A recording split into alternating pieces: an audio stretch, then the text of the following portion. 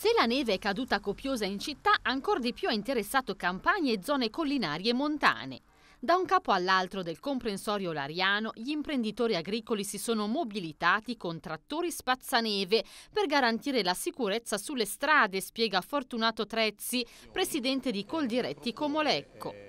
Il loro ruolo è fondamentale soprattutto nelle valli e nelle aree montane dove continuano ad essere raggiungibili anche i paesi più piccoli e lontani.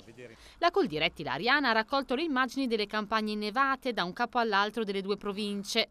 L'arrivo della neve e della pioggia su gran parte della Lombardia, secondo gli agricoltori, è una manna per le campagne in allarme per le riserve idriche.